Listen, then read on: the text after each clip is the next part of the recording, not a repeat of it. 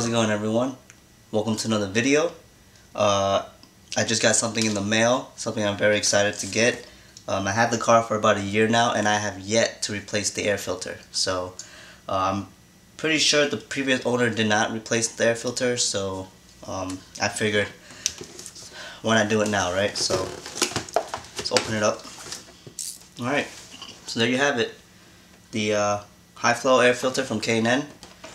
I could have picked up an OEM one from Lexus, but I figured why not pay a, a few bucks more and actually get a K&N filter. Alright, let's open it up.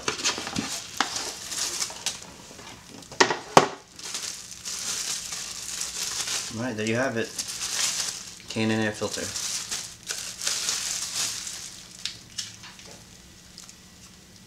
Up. Guess to give you a sticker as well to put on your airbox after you install it. Might actually do that. So, let's pop the hood up and uh, let's get started.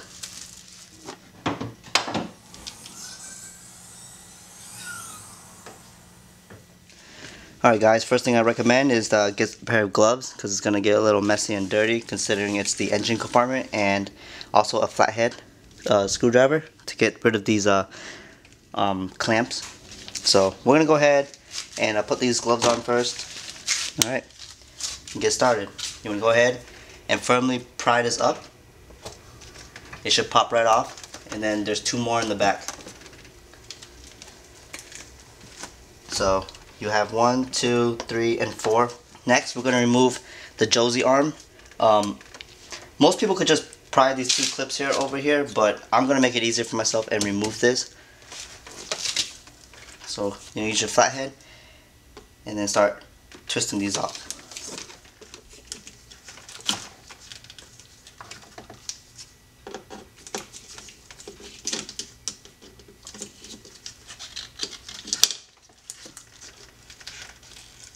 Can grab these uh, rings, these clamps, and put them aside here on the, the grill so you don't lose them. So next, we're gonna go ahead and get uh, loosen up these two flatheads up here and then the one holding this one in place.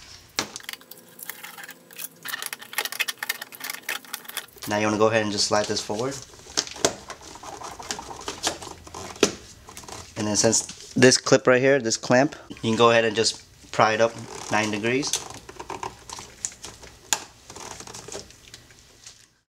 It'll slide right out. Put that aside. We're going to tackle this right before we put everything together, but right now we're going to focus on the air filter. Guys, we have two clips here on the air box. We're just to go ahead and pry them open. Very easy.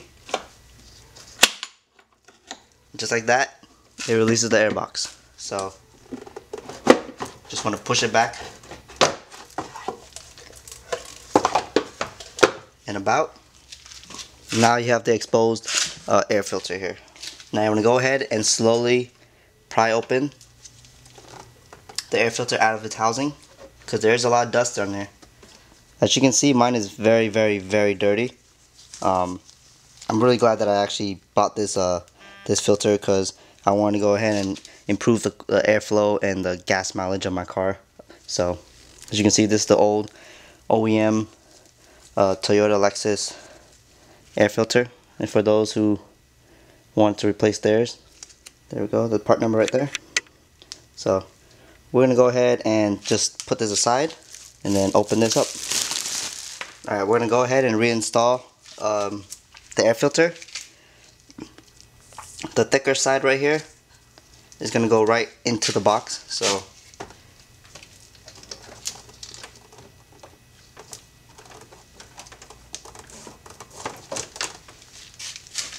fits in there pretty pretty nicely.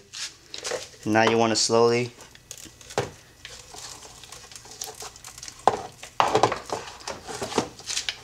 bring this back and hook it up in place. It should slide into a little seat in the bottom first before you close it on the top. So since mine is securely sitting inside you can go ahead and just push it in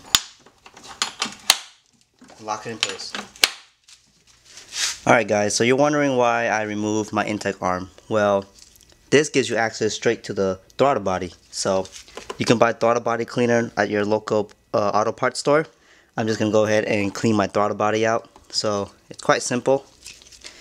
But you want to get a rag and you want to go ahead and spray a little bit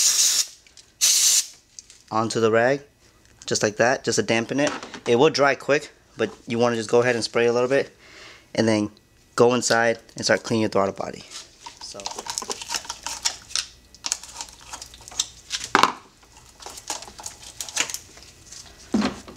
Right. Now I have easier access to get to it. So ideally you just want to push the flap. You can hold it in place like that and then get to it. So mine seems a little bit oily but we'll see. Alright you see here? Nothing on the rag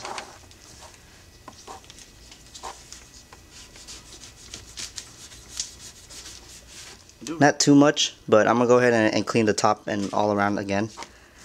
So get a new side.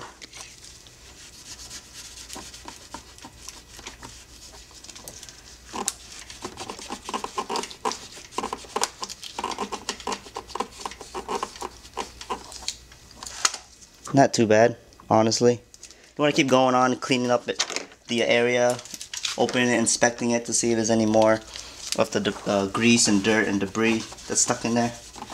Uh, clean the flap itself. But yeah, I recommend doing this every, you know, uh, air filter change or whenever you have the time, honestly. But it definitely helps make things a lot smoother functionality of the car. So yeah, I cleaned mine about a year ago, so it's still great. Now we're gonna go ahead and just put everything back together.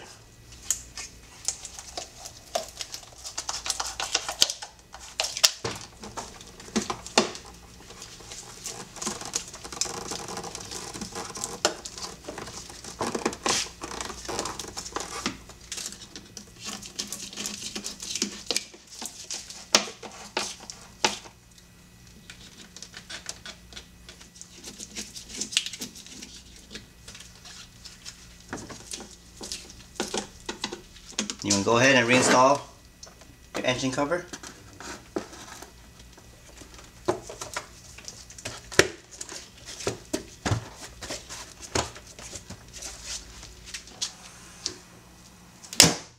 Alright guys, that was just a quick video on how to install an air filter in a ISF.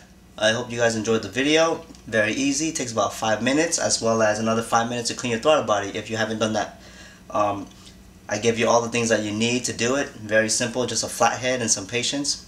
You'll be fine. But definitely replace your air filter every once in a while, maybe once or twice a year, depending on your area. Um, it's getting very hot here in Florida, so I figured why not replace it. So, uh, yeah, make sure you uh, like the video, comment, subscribe, and uh, post on social media to spread the word. You know, I'm trying my best to uh, update the community with things and, and DIYs on how to work on your car without sending it to the shop and spending a lot of money for it. So, very easy stuff. So, stay tuned. More videos coming soon.